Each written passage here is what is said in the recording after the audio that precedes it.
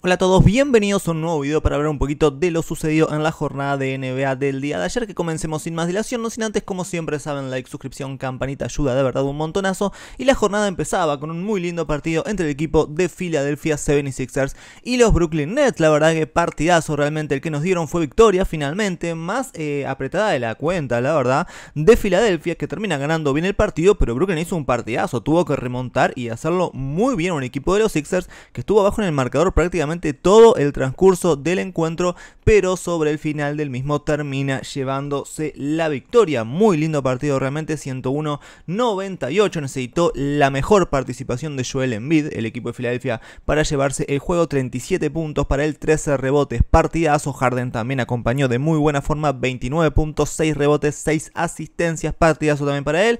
No fue un buen partido de Tobias Harris, no fue un buen partido de Anthony Melton, no fue un muy buen partido de Maxey tampoco, no jugó mal, pero no fue un gran partido al fin y al cabo, pero de la mano de sus dos figuras, Embiid y Harden, logró llevarse la victoria. En momentos muy claves, ellos fueron los que aparecieron y lograron el triunfo de Filadelfia. Defensivamente, Filadelfia hizo un trabajo bastante positivo también.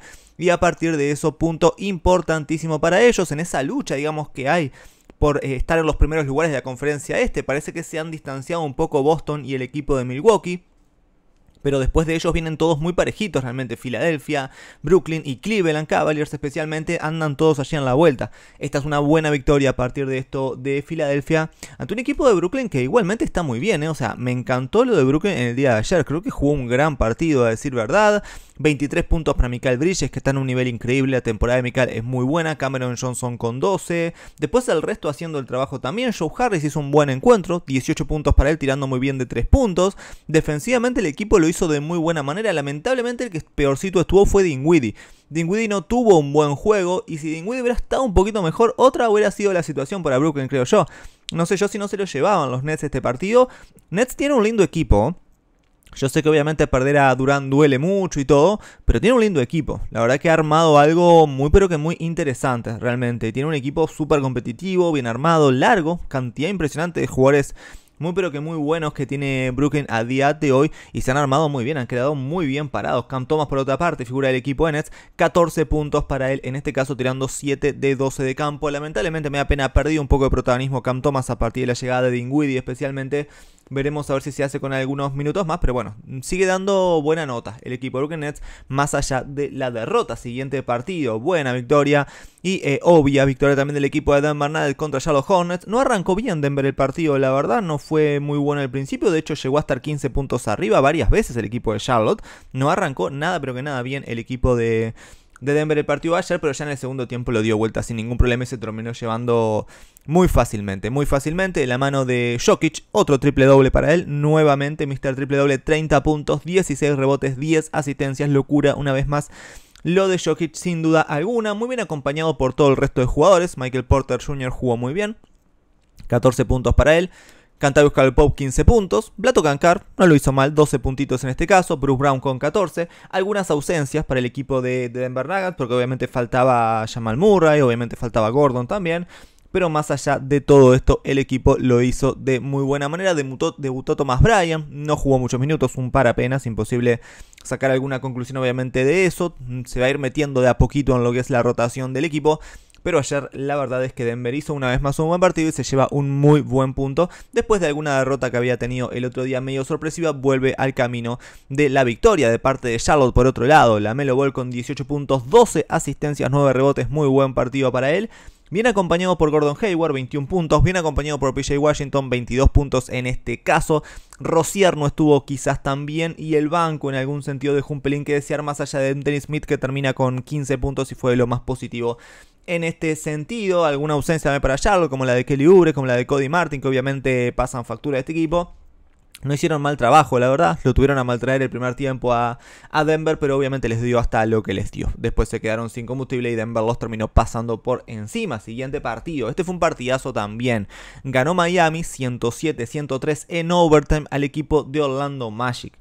Miami sigue ganando, es cierto, pero la verdad es que las sensaciones que deja son más o menos. Y Orlando, por su otra parte, las sensaciones que dejan son bastante positivas. Obviamente que un equipo está para una cosa y el otro está para la otra, eso está claro. Pero Miami sigue dejando dudas. Es, muy mala señal. Cuando un equipo todos los partidos que gana los gana eh, faltando 10 segundos, los gana apretado, que nunca tiene un partido que vos digas, bueno, este partido lo ganó bien, estuvo muy sólido, está claro que es muy mala señal, realmente es muy mala señal. Veremos a ver qué pasa con Miami de ahí en más, pero la verdad es que las sensaciones que deja, perdón, pero son negativas. Hay gente que me comenta que yo soy muy negativo con Miami, no sé qué, puede ser que yo sea negativo. Pasa que yo pensé que este equipo de Miami iba a pelear el anillo y resulta que están sufriendo una barbaridad para ganarle equipos como Houston u Orlando Magic. La verdad es que no me esperaba encontrar con esto a principio de temporada, sinceramente, por mucho que vayan sextos los Miami Heat, que tampoco es gran cosa, o sea, van sextos. Eh, y uno esperaba igualmente más de ellos. Dicho esto, ayer sacaron un muy buen partido adelante sobre el final porque se les complicó una barbaridad y lo ganaron. Obviamente, en esa lucha por meterse a playoffs de manera directa era un punto muy eh, positivo, era un punto muy necesario para ellos pero no por esto dejan de, dejar unas tremendas dudas, la verdad. Jimmy Butler con 22 puntos, la verdad que hizo un buen trabajo en ataque y defensa. Después el resto acompañó en cierta medida. Tyler Hero con 23, Gabe Vincent con 20, la verdad que lo hicieron bastante, bastante bien. Adebayo con 13 puntos, 17 rebotes, 6 asistencias, muy importante también. Desde el banco, Max Struz con 12 puntos, también lo hizo de buena forma. No tuvo mucho más, el equipo de Miami es bastante cortito, hay que decirlo todo. No tiene un equipo muy largo, no tiene muchas variantes, faltaba Lowry además, y obviamente esto hace que tenga menos variantes y se acorte todavía más el plantel se lo pudieron llevar al fin y al cabo. En el overtime lo hicieron de buena forma, pero sigue siendo un equipo que no, no da solidez, digamos. No da eh, buen, buen, no sé, buen tino de, ser un equipo que vos digas, bueno, este es un equipo realmente muy, pero que muy sólido que puede llegar a ser el equipo que era Miami el año pasado, básicamente. Es Miami el año pasado estos partidos los ganaba de otra manera. Eh, tenía, te das cuenta que el equipo estaba de otra forma. Ahora, bueno, le cuesta mucho más. Los gana, bueno, la mayoría los gana. Eso es un punto positivo, la verdad. Se puede rescatar eso. Miami habitualmente este tipo de partidos los gana, sí pero le cuesta una barbaridad, digamos. Uno espera que Miami contra Houston Rockets gane por 20 y pico puntos y contra Orlando por ahí ande, digamos. Y la verdad es que no, le ha costado bastante. Un equipo de Orlando igualmente que viene bastante bien últimamente. Franz Wagner terminó con 10 puntos, Panchero con 16. No tuvieron un buen partido, no están teniendo en general, creo, un buen pasaje de temporada. La verdad que no me han gustado mucho últimamente las últimas semanas. Pero esto es algo positivo para Orlando, la verdad, porque ellos dos no han jugado especialmente bien, pero así todo el equipo de Orlando, la verdad que ha, ha estado en bastante buena forma, porque siempre aparece alguien, tiene un equipo bastante largo, Orlando. Aparece Wendell Carter, que terminó con 14 puntos, aparece Markel Fultz con 17, aparece desde el banco Jalen Sachs con 14, que lo hizo muy bien, Mo Wagner con 14 también, buen partido para él, siempre alguno por allí aparece.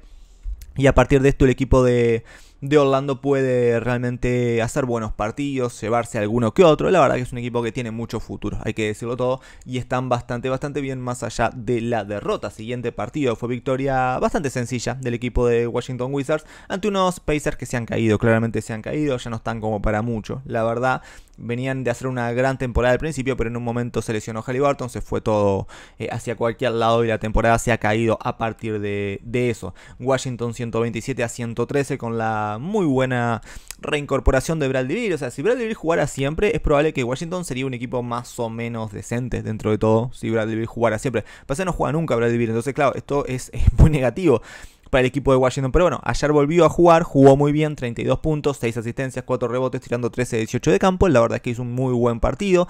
Bien acompañado por Porzingis con 17 puntos, Gafford con 13, Corey con 13, Montemorris con 17, Abdija con 16. La verdad es que hizo en general un muy buen partido. Kendrick Nunn también jugó muy bien, me gustó muchísimo lo de Kendrick Nunn. 10 puntos para él, 6 asistencias. La verdad que hizo un buen partido. Bien por Kendrick Nunn que está jugando de buena manera. La verdad es que ayer rindió muy bien el equipo de Washington, hizo un gran encuentro. La verdad es que Indiana no, no pudo hacer frente a ese poderío anotador del equipo de Washington que termina justamente con 127 puntos, tirando un 64% de campo, tirando un 46% desde el triple partidazo realmente para Washington en el día de ayer. De parte de Indiana, la verdad es que Halliburton estuvo muy bien, metió 21 puntos, 7 asistencias para en este caso. El resto acompañó un poquito, sobre todo Turner con 20, Body Hill más o menos con 16 por allí. El resto muy flojo, el resto muy flojo. Maturín terminó con 16 puntos, pero en 18 intentos no estuvo francamente demasiado bien. Chris Duarte no estuvo mal del todo, me gustó un poco, terminó con 9 puntos al fin y al cabo, ni tan mal, dentro de todo ni tan mal pero no pudo hacer demasiado más que eso Indiana, la verdad. Eh.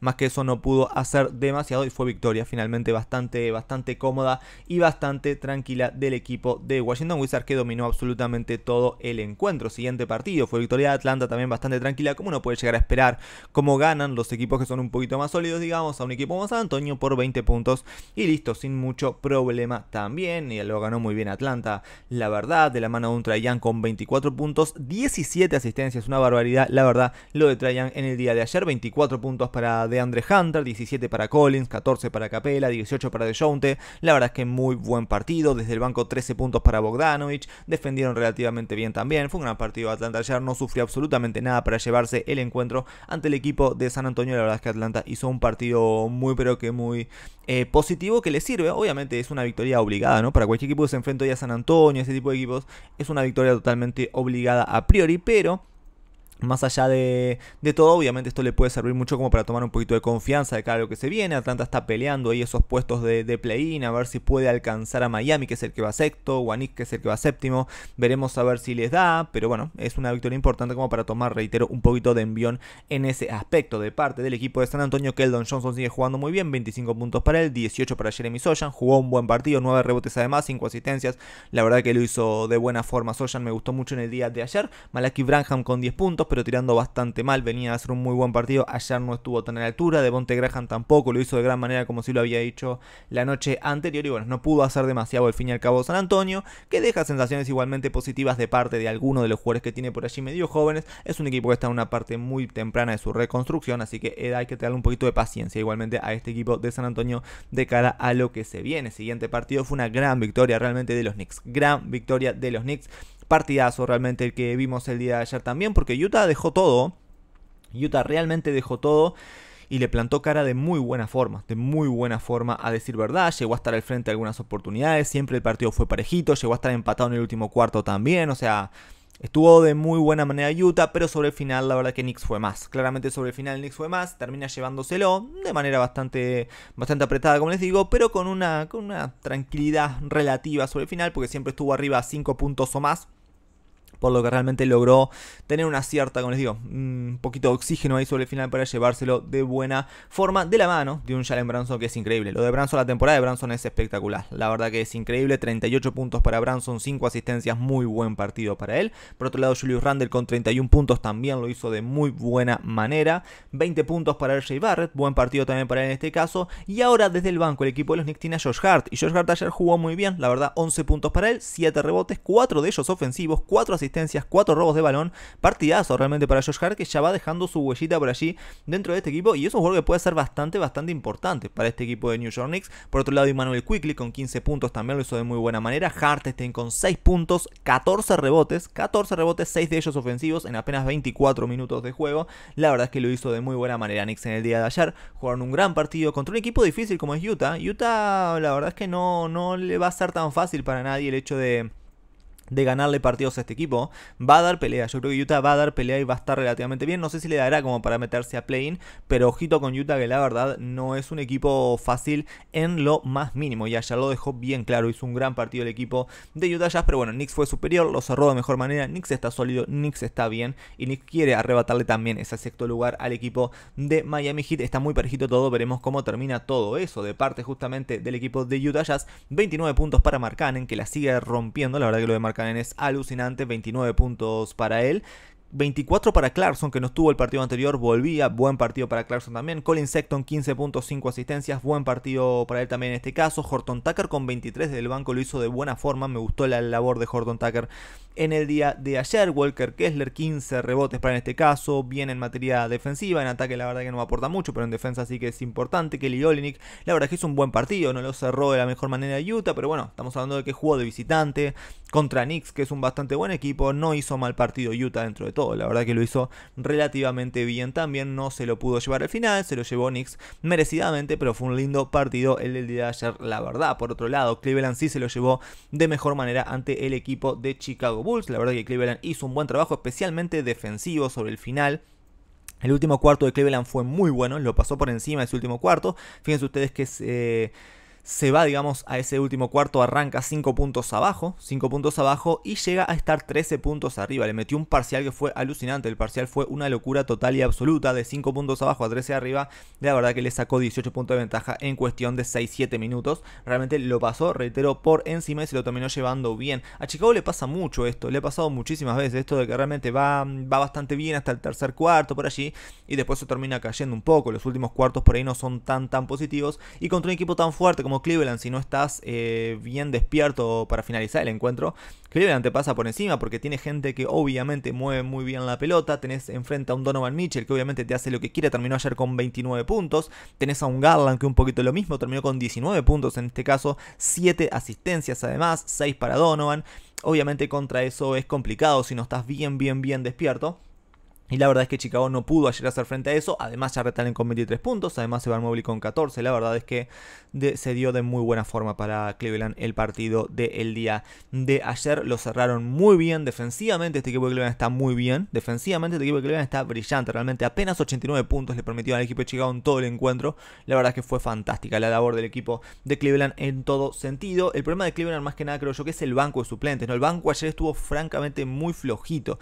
Y eso obviamente repercute mucho necesita un poquito más de los suplentes este equipo. Eh. Necesita un poquito más de los suplentes. Lever muy flojo ayer. Un punto apenas para él tirando 0 de 4. Dingway 0 de 5. Rico Rubio 0 de 6. Cedi Osman 1 de 4. El banco de Cleveland claramente está flojeando un poco. Necesita un pelín más de eso para ser un equipo mucho más competitivo todavía, pero Cleveland realmente está bastante, bastante bien. De parte de Chicago, la verdad es que muy flojita la actuación en general, ¿no? De Mar de Rosen 16 puntos, de mm, Patrick Williams terminó con 13, me gustó Patrick Williams igualmente, no estuvo mal.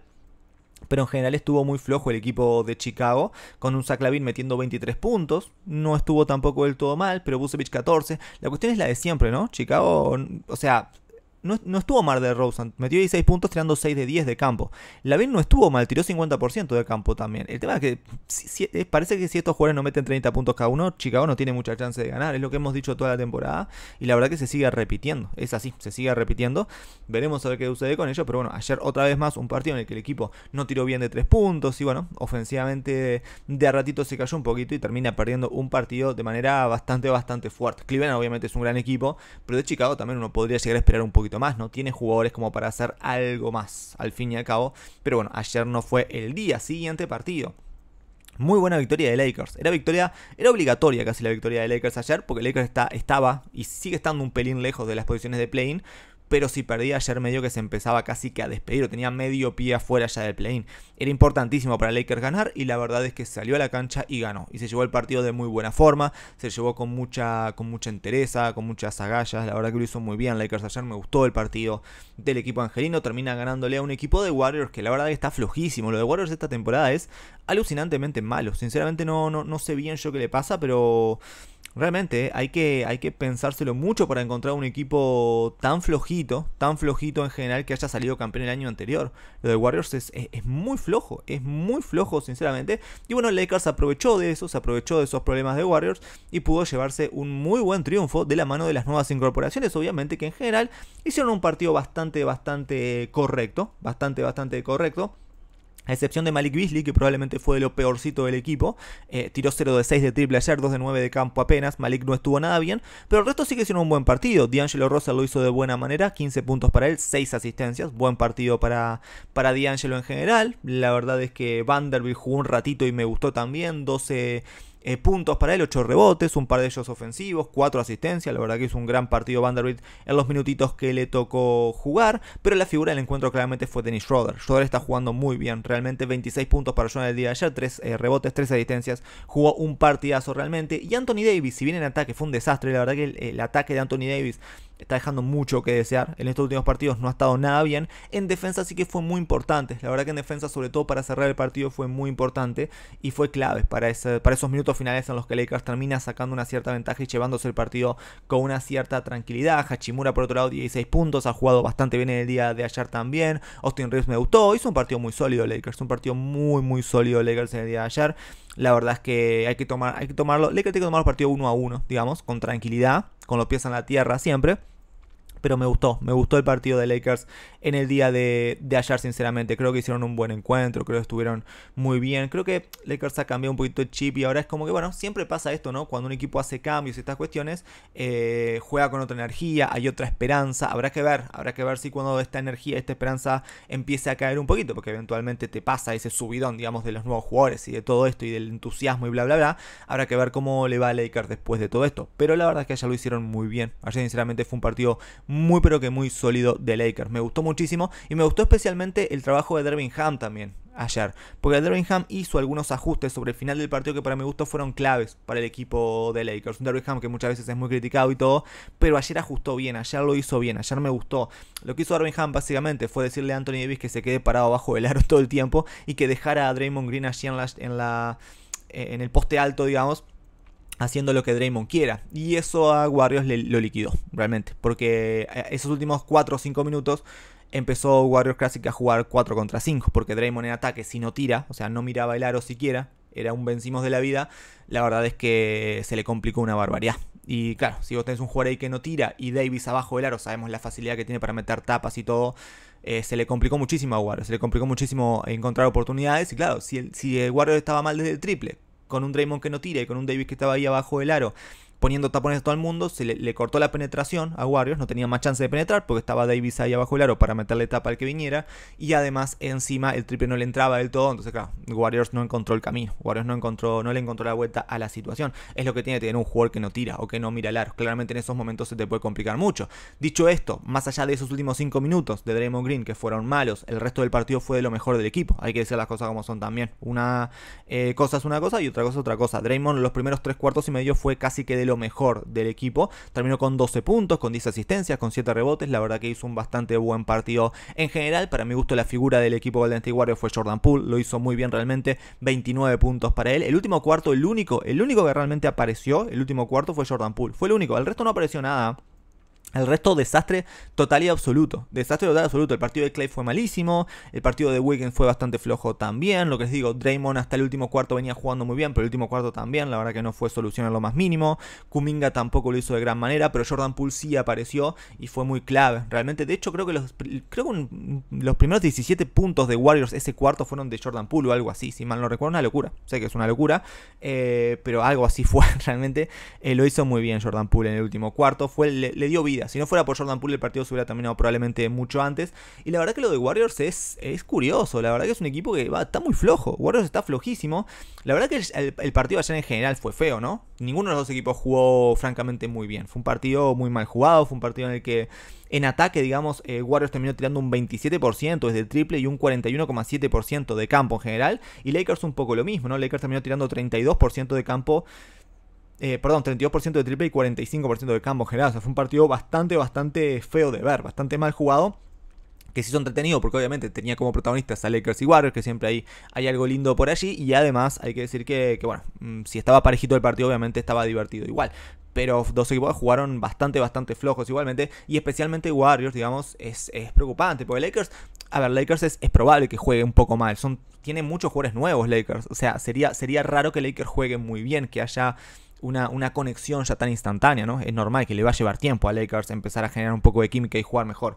Pero lo de Warriors, la verdad que es muy preocupante. Muy preocupante, sinceramente. Ya van 50 y pico partidos de temporada, casi 60. Y Warriors sigue jugando muy mal. Sigue jugando muy mal. Este equipo sin Steph Curry es imposible realmente. Es inviable este equipo sin Steph Curry. Pues justamente pasa eso muchas veces, que bueno, el, el, triple, digamos, entra de otra manera, pero porque tenés a Steph, este equipo sin Steph es un equipo que realmente es flojísimo, es flojísimo. Y ayer, bueno, una vez más, la verdad, mucho que desear dejar, mucho que desear. El partido de, de, prácticamente todos fue, fue bastante, bastante flojito en líneas generales. A ver qué sucede ahora, porque se ha achicado todo y está complicada la situación para todos en play Lo vamos a ver la tabla de posiciones en un ratito nada más. Antes vamos a hablar un poquito de, de Sacramento, que le ganó al equipo de Dallas Mavericks. Fue un partidazo también.